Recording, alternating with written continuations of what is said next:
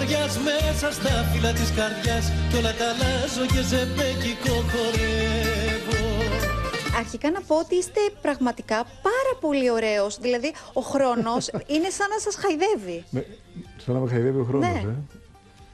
Ε, κοίτα, με επίοικια μου έχει φερθεί, αλλά ε, και εγώ δεν του έδινα πολύ σημασία. Τον άφηνα να περνάει, ε, δεν τον κοιτούσα. Κοιτούσα από την άλλη μεριά, δεν ξέρω τι έχει γίνει. Ισχύει ότι η Zigzag ήταν το μακροβιότερο συγκρότημα; Με την έννοια τη- τη- της πλήρους σύνθεσης, δηλαδή της τετράδας όπως ήμασταν στην αρχή, που κράτησε γύρω στα 16-17 χρόνια, νομίζω ότι κανένα άλλο συγκρότημα δεν κατάφερε να μείνει τόσο. Έτυχε ποτέ κάποια κοπέλα να σας σκίσει το πουκάμισο, να σας τραβήξει κάτι, να έχει δικό σας; Ε, ναι. ε, Μάλλον συνηθισμένο. Μόλις τελείωναν οι συναυλίες, εμείς λέγαμε ευχαριστούμε πολύ, καλή νύχτα σας και αμέσως πηδούσαμε από τη σκηνή στα αυτοκίνητά μας μαζί με τα όργανα.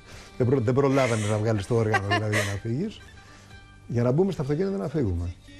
Ε, ήταν ο, στο αυτοκίνητο μέσα ήταν ο μικρός μου γιος που καθόταν, ο μεγάλος μου, το- που ήταν τότε τριών χρονών, και καθόταν στο πίσω κάθισμα. Και προσπαθώντας εγώ να μπω μέσα, με έχουν αρπάξει από το πουκάμισο, από τη, την κορδέλα για να βγάλω. Αυτό θέλανε κυρίως, ας πούμε. Να πάρω μια κορδέλα.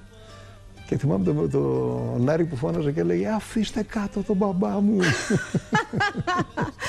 Η κορδέλα ήταν δική σας ιδέα; ναι.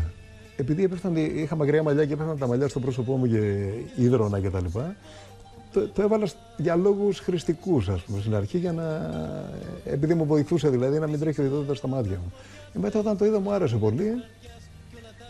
Ε, και ήταν κάτι πολύ όμορφο, άρεσε και στους άλλους και το κράτησα. Κοκκινό πάνι ζήλια, κοκκίνα τα δυο σου χίλια Το καλλιτεχνικό συνάφι, εκείνη την εποχή, που βγαίνουν zigzag και κάνουν τον πανικό. Πώς αντιδρά, είναι φιλικό, είναι ανταγωνιστικό; Το καλλιτεχνικό συνάφι, όσο και αν είναι χαμογελαστό, ποτέ δεν είναι φιλικό. Είναι πάντα φρικτά και απέσια ανταγωνιστικό.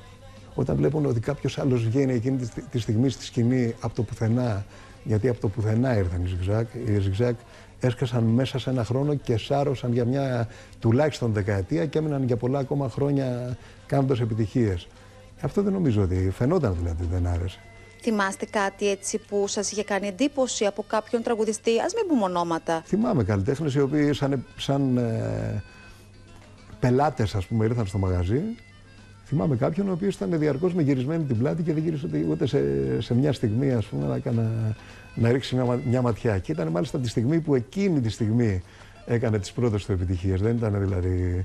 Δεν είχε ακόμα. αυ- Ε, τώρα εννοείται ότι οι μεγάλοι καλλιτέχνες, τα πολύ μεγάλα ονόματα, όπως ήταν για παράδειγμα η Γλυκερία με την οποία συνεργαστήκαμε μαζί, δεν είχε κάτι ούτε να ζηλέψει ούτε να φοβηθεί από εμάς. Ήρεμα, ήρεμα, δεν είμαι τρομοκρατής Έχω ακούσει που έχετε πει ότι δεν σας βρήκε έτοιμο η διάλυση των zigzag. Δεν ήταν κάτι που το περιμένατε; Όχι, δεν το περίμενα. Ήταν, νομίζω ότι για σωστούς ή λάθος λόγους, μέσα στο μυαλό μου είχα ότι το συγκρότημα δεν θα, δεν θα διαλυόταν ποτέ.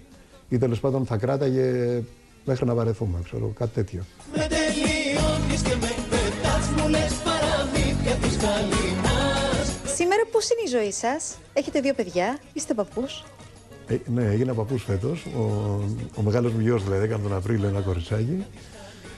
Αισθάνομαι ευτυχισμένος, αισθάνομαι πάρα πολύ γεμάτος. Επειδή η εικόνα σας πραγματικά είναι σαν να σας έχω κλέψει από το βίντεο κλιπ ε, του, του, του 1990 κάτι. Θα θέλατε να σας ε, πει η εγγονούλα παππού; Σκληρή λέξη ο παππούς. ε.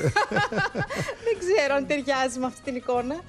Ε, κοίταξε, αν μου, αν μου το λέγει κάποιος άλλος, θα ήταν, δεν ξέρω πώς θα μου ακούγονταν. Όταν το πει εκείνη όμως, γιατί εγώ δεν, δεν μιλάει, ε, θα ραγίσει η καρδιά μου.